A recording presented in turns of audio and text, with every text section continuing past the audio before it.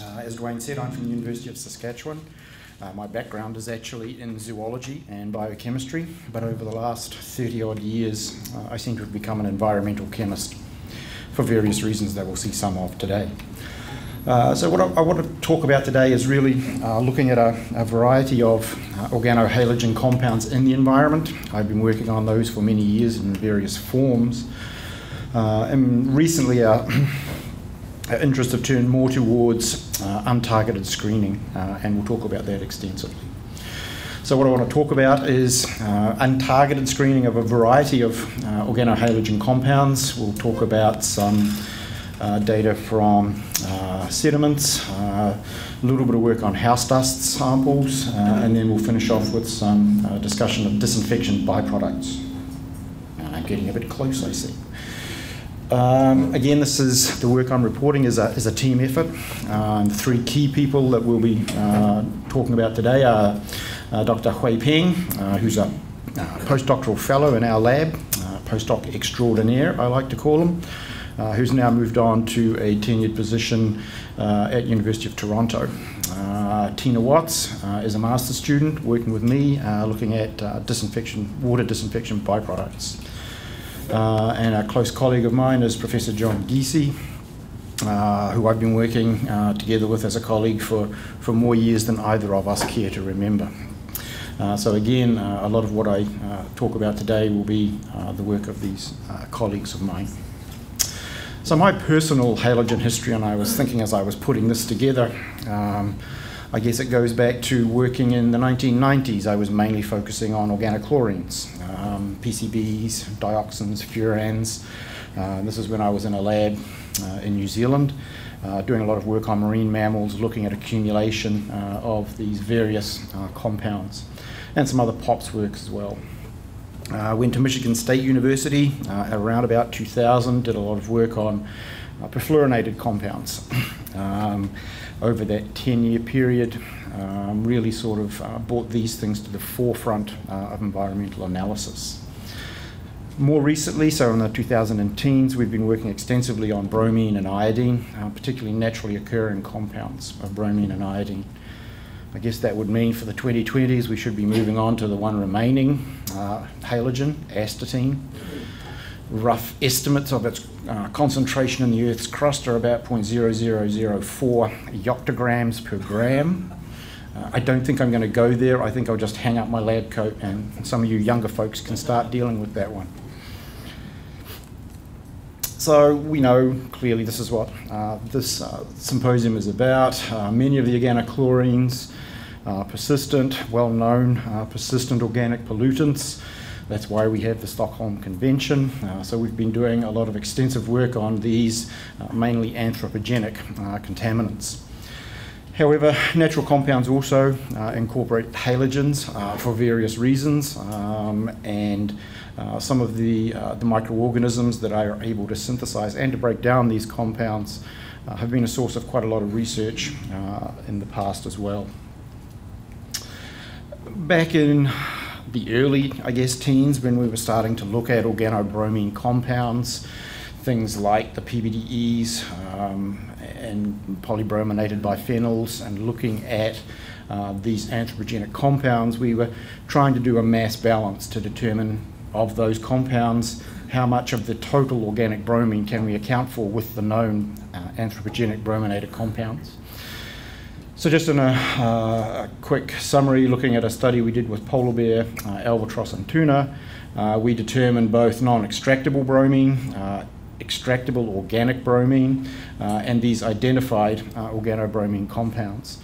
So summing up all the compounds we knew anthropogenically that were out there, we can account for around about 0.01 at most percent of that total organic bromine.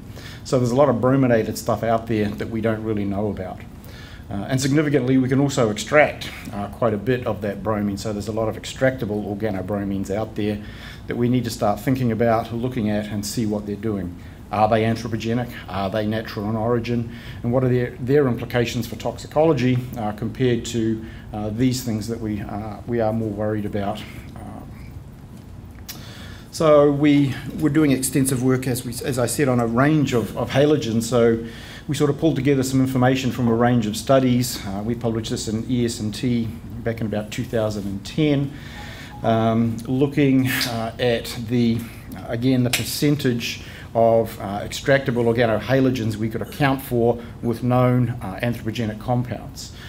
So, for the, as we've seen for the uh, organobromines, we can't account for much of it by, uh, with man-made chemicals.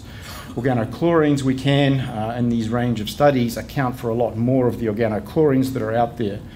And when we come to organofluorines, we can account for most of it, uh, at least 25% of it, um, because um, the generation of these organohalogens, particularly the chlorines and the fluorines, are very energy intensive. So, uh, of living creatures, humans are the only ones that can afford to put that amount of energy into synthesizing chemicals. So, these chlorines and fluorines then uh, are mainly anthropogenic in origin.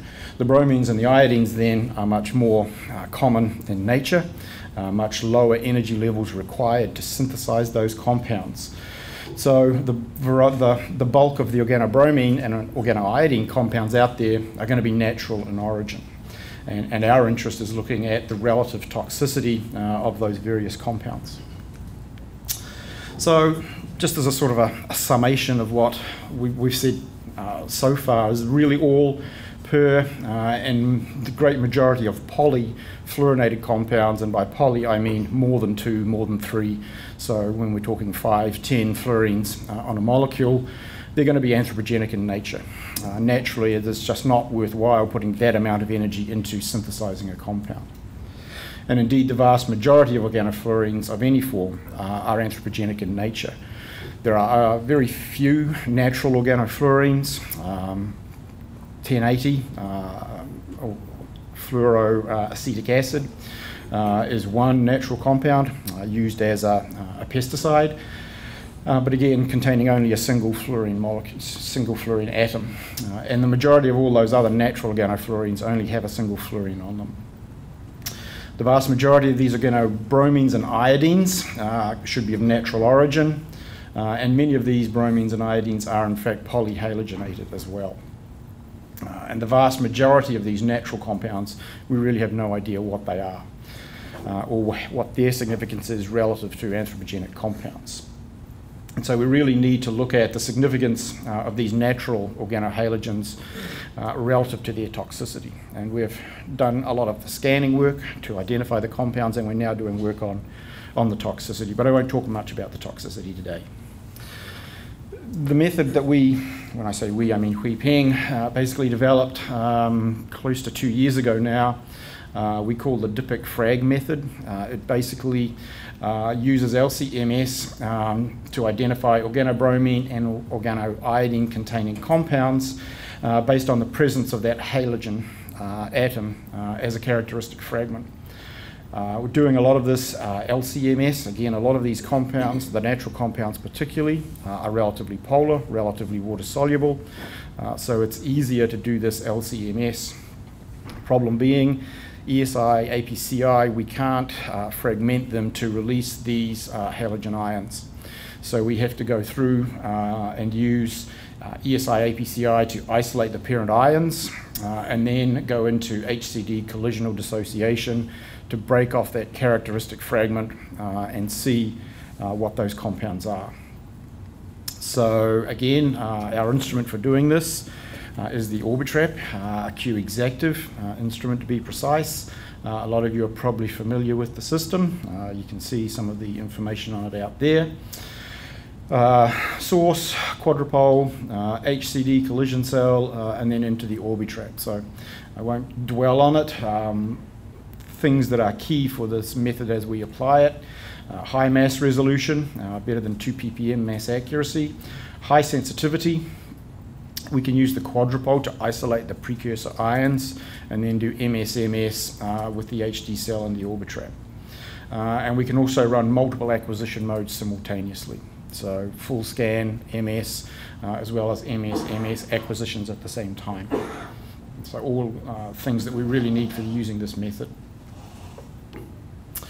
So um, just a quick example then, uh, once we've gone through uh, that uh, HCD cell, Uh, we find these characteristic um, halogen ions, again 79.9, no surprise, that's bromine, uh, and then the other bromine isotopes here as well. And parent compound here, 245. So um, fairly standard sort of MS-MS sort of approach, except we're using the, uh, the quadrupole uh, to isolate um, precursor ions. So we need to identify the parent compounds.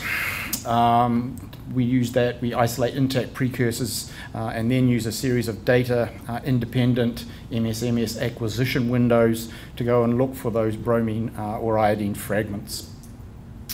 Uh, and we need to do uh, a whole range of uh, small DIA windows uh, since we get a lot of overlap. As you'll see, we find a lot of different compounds. So we need some relatively small windows to separate these things out. Uh, it's also useful to uh, expand the dynamic range. So essentially we're doing a full scan here, then we'll do a series of DIA, DIA windows, another full scan, then more DIA windows. So again, we're doing a lot of different acquisitions uh, simultaneously.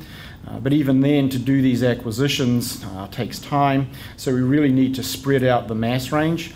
So we actually do uh, 10 separate runs uh, with this uh, kind of acquisition uh, so that we can cover a mass range from down here, M to Z 100 up to 1,000. So we generate a lot of different acquisition data. and getting all of that data together is, a, is still a challenge for us. So the basic concept then is we'll look at, um, through the HCD, our bromine fragment chromatogram.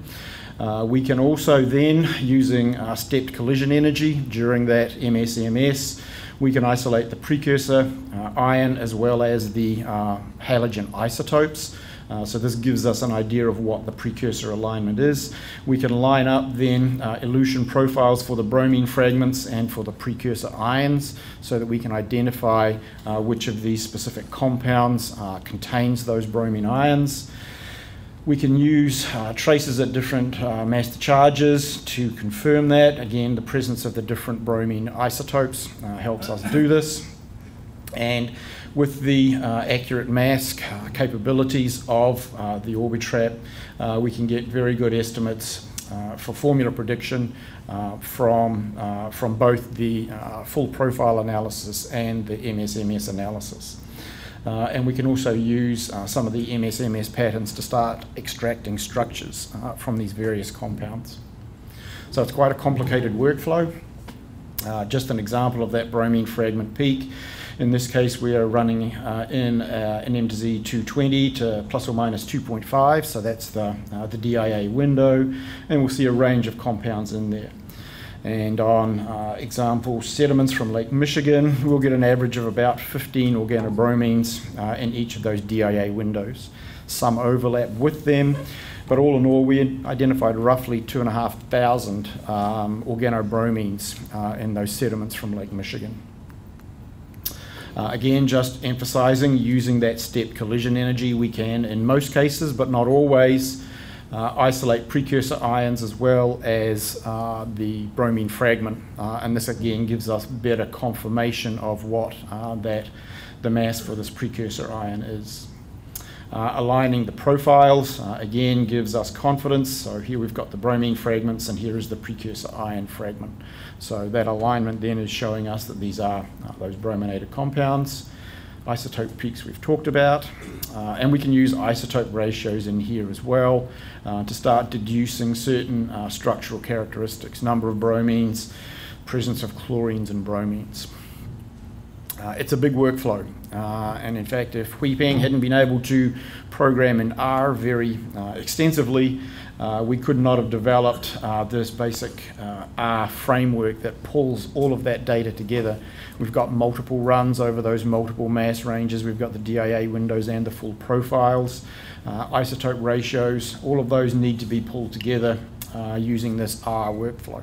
And I think that's really one of the key things that I want to, key take home messages for today is we really now with these Orbitrap systems are collecting such a huge amounts of data that we're running into problems with data interpretation, particularly uh, for untargeted screening.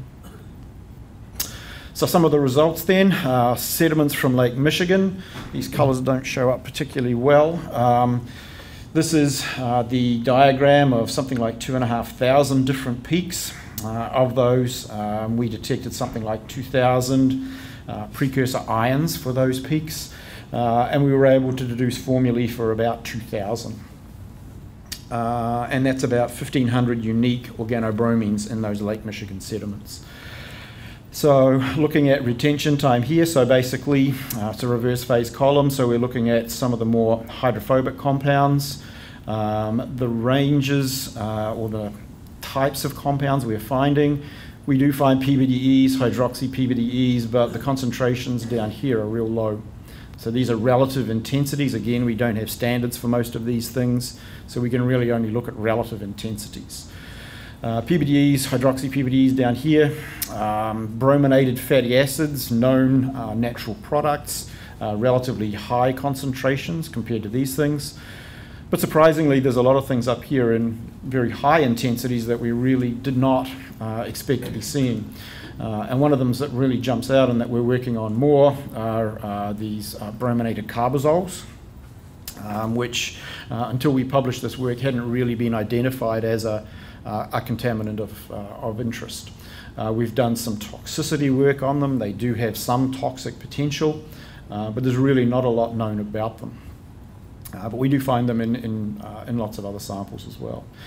Just looking at uh, the mass ranges of these compounds, again, we're talking uh, relatively high uh, contents of relatively high molecular weights, 300 up to about 600, even up to 1,000. Um, this diagram here then uh, indicates in colour uh, the bromine number, so more bromines up here, and the relative intensities in the spots. So we'll see more of these figures as we're going through. So the larger spots uh, have obviously higher concentrations. Uh, the lighter colour means lower bromine uh, number of bromine molecules, uh, atoms in the molecule. Um, moving on, we can use the same approach for iodinated compounds. It's a little more uh, difficult to interpret the data. There's only the one stable isotope of iodine, so we don't have uh, those two isotopes to, to help us confirm things. Um, but the method can still be generally applied. So we looked at, again, samples from Lake Michigan uh, and compared them with some samples from the Arctic. Clearly, this is sort of a discovery phase, and we wanted to see what we might find in marine sediments compared to freshwater sediments. Um, so this is then our profile from uh, freshwater sediments. Um, for iodinated compounds, we're seeing a bunch of things. Again, uh, not so much known on uh, anthropogenic uh, iodinated compounds. Seeing iodophenols, again, uh, carbazoles, this time iodinated, are up there uh, at relatively high concentrations. And again, we can see uh, distinct differences between marine and freshwater sediments. So clearly a lot larger range of compounds in uh, marine sediments, presumably due to uh, iodine, uh, iodide concentrations uh, being available. So moving on from that, we then applied the method uh, to uh, some house dust samples. We had a student working on, again, flame retardants, looking in house dust samples to try and assess exposure of infants to these brominated compounds. And again, he noticed a bit of a problem with his mass balance.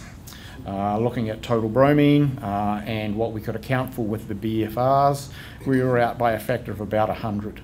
Uh, so we wanted to apply this method and see what else we could measure in this house dust uh, in the form of brominated compounds um, to, to really start looking at what uh, intake was like. Uh, again, uh, this is the same sort of method, the same sort of picture, retention time, uh, mass to charge ratio. again, we see distinct groups of these brominated compounds in these house dusts. More than 500 compounds were identified, uh, and again, some of them we knew. So we've got group one or two compounds up here, and we've got this group three compounds down here. And again, uh, a lot of the known uh, BFRs we can identify, but their contributions or relative, relative concentrations are quite small uh, compared to some of these other compounds. And some of these compounds we really uh, didn't know what they were uh, at the time, so we had to do some, some further investigation. Uh, looking at a heat map then uh, of, uh, again, this is basically concentration of these uh, different chemicals uh, by sample. Uh, so Hui Peng also does a lot of bioinformatics, so he likes to do these bioinformatic type pictures to see what they're telling us. So our group one, group two compounds are up here. This is the BFRs, the known um, TBPH and the like. So the known flame retardants, the known organobromines we were looking for. These are all the other organobromines, so lots of different compounds, uh, and trying to find out what they were uh, was a bit of a challenge for us. Turns out um, that uh, a lot of them are in fact uh, belonging to uh, a group of chemicals, the, the azo dyes, so brominated azo dyes. Um, that um, when we think about it, house dust, azo dyes used in dyeing fabrics and dyeing all sorts of other things. It's fairly obvious that this is what they would be, but we needed to really go through this process of untargeted screening, identify compounds of interest, then we can go through, start predicting structures, uh, and get standards to actually verify that these are the compounds uh, that are in there. Uh, so that actually was published uh, earlier this year in uh, Environmental Science and Technology. Um, and, and I guess the other significance of this is we uh, are following up a lot of these studies looking at uh, relative toxic potential of these chemicals. Uh, and again, so we see here uh, for that particular azo dye 2-bromo-4,6 uh, dinitroaniline, uh, we've done um, basically a carcinogen carcinogenicity assay, and we see effects at around about 1.2 micrograms per mil House dust, we're seeing about 1.7 micrograms per gram. So we're in the ballpark for these things being uh, an issue of toxicological significance. So moving on then to, to Tina's work, uh, looking at um, uh, iodo brominated disinfection byproducts uh, in water treatment um, again, really started as looking for, for natural brominated compounds. We worked with uh, a water treatment plant, uh, and they said, "Well, come on, take some take some samples as we're going through our treatment process and, and see what comes out." So we applied then uh, this uh, the same method uh, to look for brominated compounds there.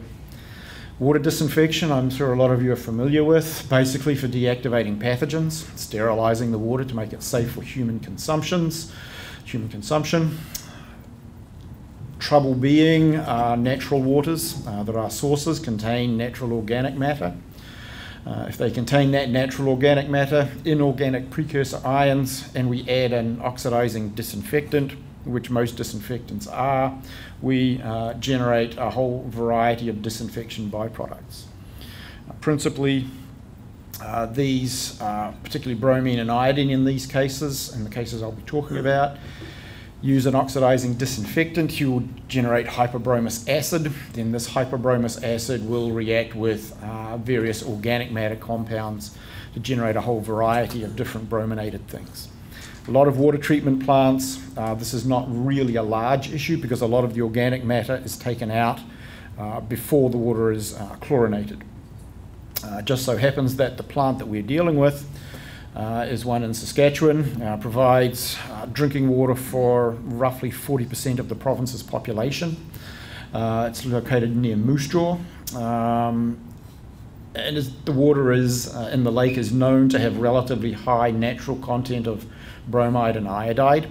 Uh, a lot of the geological structure is the bottom of a former ocean, and so a lot of that bromide and iodide is, is coming from that sort of source. Uh, and the lake is also quite eutrophic, so it has a lot of organic matter. Problem with the plant is this is the plant, this is the source water. It's about two miles away, so they've got a very long pipe. Uh, being good water treatment specialists, they chlorinate the water right at the lake before any of that organic matter is removed. Uh, and it's got a lot of bromide, a lot of iodide, so they're generating a lot uh, of these uh, disinfection byproducts. So really the goals we were looking at was comparing methods for extraction. Uh, again, we're talking untargeted screening. We want to incorporate as much as we possibly can uh, in each of these analyses.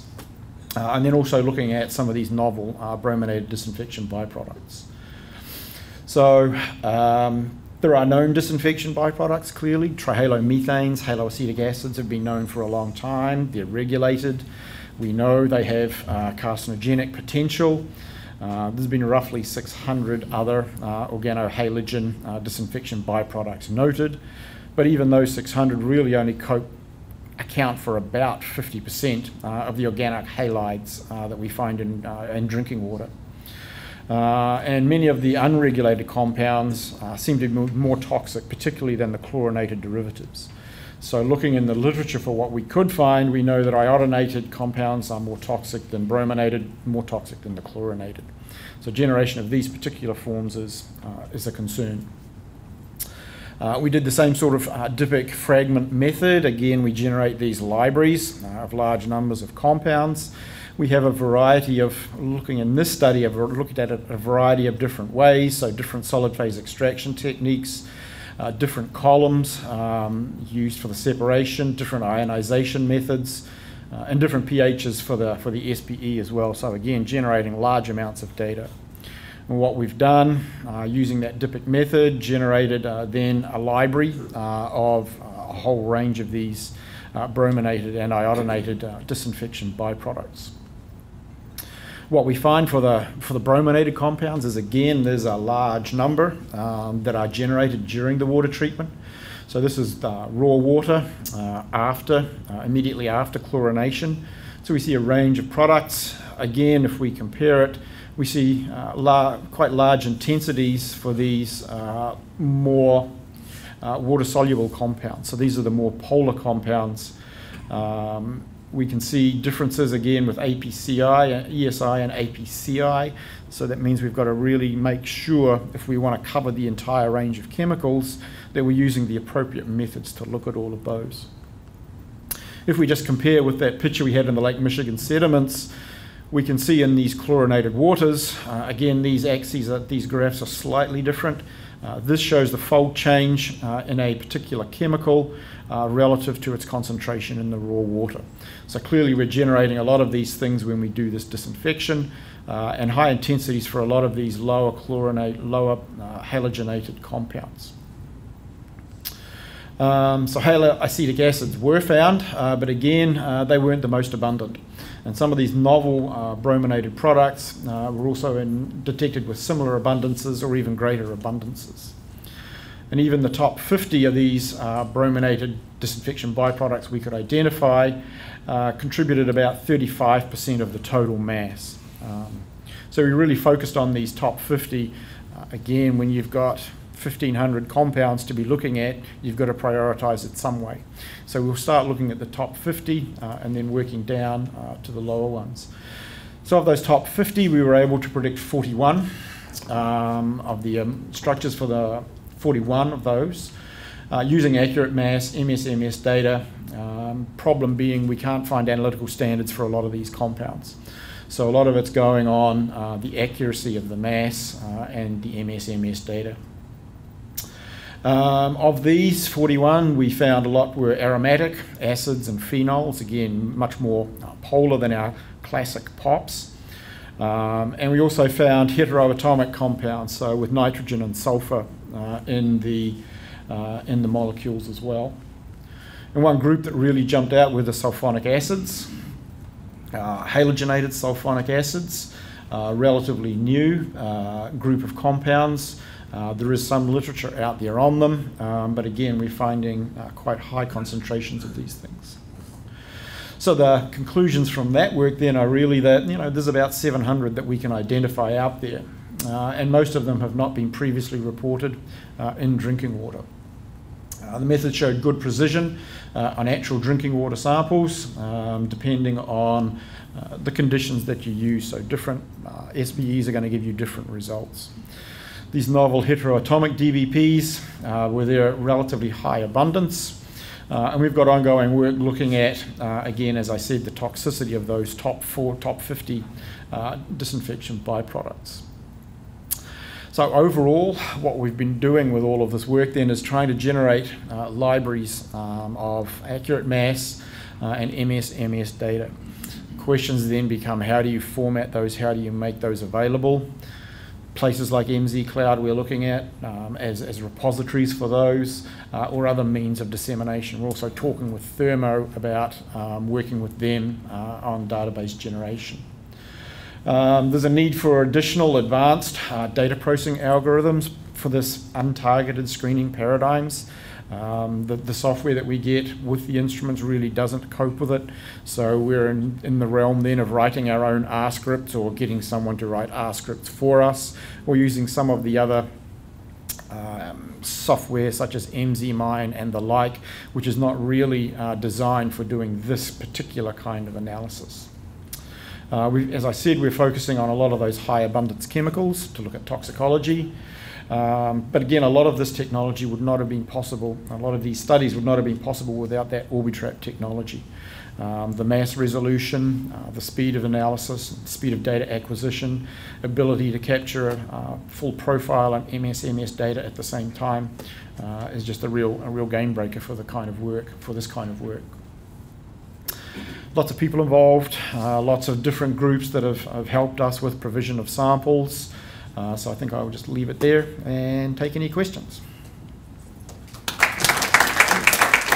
Thank you. It was very interesting. I have a question that is not really related to the way you did the analysis, but more about the toxicity testing you plan to do for the main compounds that were detected, because we're having a similar process in my lab, and the question is always how can we test toxicity if these are not available as standards?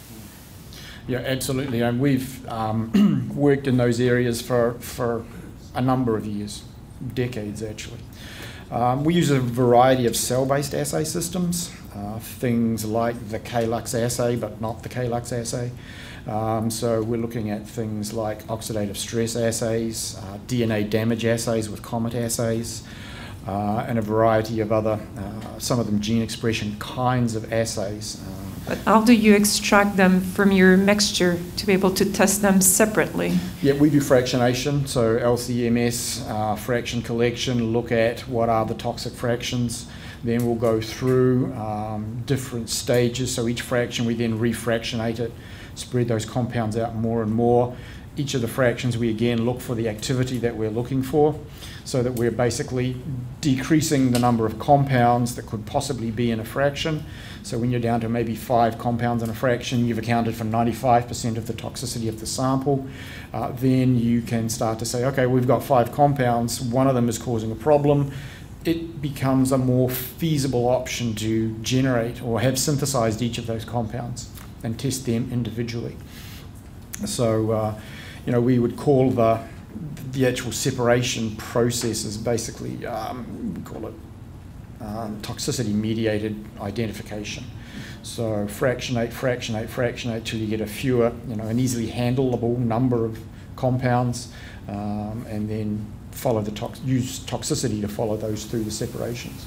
Okay, but you synthesize them. You don't do the toxicity testing on the fractions that you collect with your LCMS. Yeah, yeah okay. we do fractions, we do toxicity tests on those fractions. So that's how we can get down to, uh, and that's why we use cell culture systems because we need much smaller amounts of material for those. And then when we're down to maybe four or five compounds in a particular fraction, uh, then we can look at going and getting those synthesized.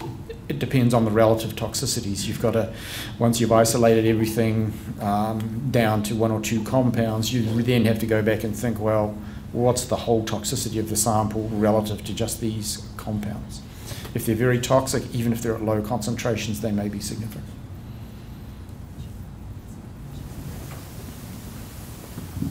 Great talk. Uh, having grown up in Moose Jaw in the 60s, uh, I can appreciate what you said about that's, the water there. That's when they built the plant. yeah. Um, just curious, you know, indeed it's the whole of Saskatchewan is, is built up on, on salt beds and, and whatnot else. So if we're looking at drinking water from, from other areas, uh, would you say this issue is, is localized to uh, Saskatchewan or, or um, we are looking at other areas in Saskatchewan, so we're working with the Prince Albert well, folks I, I as mean, well. Yeah. Going into British Columbia is going to be different, yeah. or, or California, or and a lot of plants that are using groundwater as opposed to surface water is going to be completely different. Um, You're right, they will be completely different, but we're just trying to get a, a, handle on what the problem, the extent of the problem is. So the first thing to do is to take a worst case scenario. And really, Buffalo Pound is pretty much the worst case scenario. Um, since we've been sharing this work with them, they've now decided that they're not going to chlorinate uh, at the lake. Um, they're just going to again, built back in the 1960s, the best thing to do with a water treatment plant was to disinfect it the hell out of it, keep everything disinfected all the way through the plant. They realise now that that's causing them more problems. They're still in compliance with all their trihalomethane analyses, although they did slip on one of their uh, regulatory measurements last year. They were a little bit over for one of the trihalomethane, so they do realise it's a problem. Uh, they've taken out that now initial uh, chlorination. Um, but even then, after they've done that, there are still some products that are generated. Uh, and a lot of their treatment does take out a lot of the initial um, compounds that are generated, but not all of them. And we find other things generated as we go through their treatment system as well. So, but yeah, it's the, looking at the worst case scenario and then seeing if we can generally apply that. Uh, question is, uh, have you um, correlated any of this data with epidemiological studies data on cancer clusters or bladder cancer or other? No, we have not as yet. Um, we've really been only doing this, the drinking water, we've only really been doing that for three years now. So we haven't really got to that sort of, that sort of stage. Thank you. Sorry. Thank you, all. This was a really great talk. Uh, I have maybe a suggestion regarding all these data you're producing right now, maybe it would be a good idea to start building using mzVault. I don't know if you saw that. It would be a great to build from there all the MSMS data. That will help you, I think, maybe more than mzCloud. That one thing. Another thing is the compound discover. I know it's used for metabolomics, but mm. I, I'm trying to use it for some organic pollutant, and it seems it's really processing data much better. It, it has, I need to modify it a little bit, but mm. I think it has a great potential. My next question is uh, regarding the DIA method you use. So you run the same sample for, so you isolated every hundred and then injected again, but then move your windows. That's what you, and then you do the yeah. DIA for that hundred. Yeah, yeah we, do, we do 10 different runs. Each of them's 100 mass units. Okay. Covers 100 mass units uh, between 100 and 1,000. So yeah, we do yeah. 10 different runs on the sample. Because I'm thinking about it, if we can apply it also for the few, because you use the Q exactive, because you have only one detector, which is the yeah. Which is the Orbitrap. But if you have the fusion, you have two detector. Yeah. Then you, you don't need to do that fractions. You can run it at once yeah. and get all the data. Yeah, I don't have a million dollars to spare at the moment. I can help you with that. Not with the money. But, but yeah but also more to your point about yeah, Tracefinder, we've got Tracefinder and I'm, I'm trying to do this as well. Um, but really, I think the main focus here is discovery, discovering what the compounds are, and then from that, transitioning over to a much more direct methods. So we won't be doing that DIA once we've identified a compound or a mass and a, and a mass spec mass spec profile. Then we can just use it uh, in an ordinary mass spec method. Building your database with mzVault will be really great for later on yeah. as you go on. It will be easier now as you just started, yeah. but later on it will be, you have the database for all the MS and S, and then you can compare it much easier. Yeah, absolutely. Any more questions? Thank you very much. Great talk.